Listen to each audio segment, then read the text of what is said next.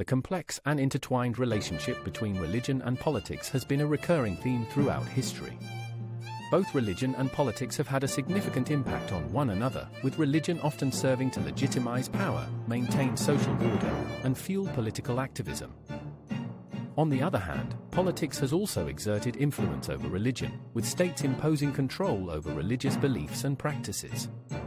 Despite the intricate dynamics at play, individuals are called to navigate this relationship with purpose and inspiration, using their beliefs to drive positive change and uphold values of justice and equality.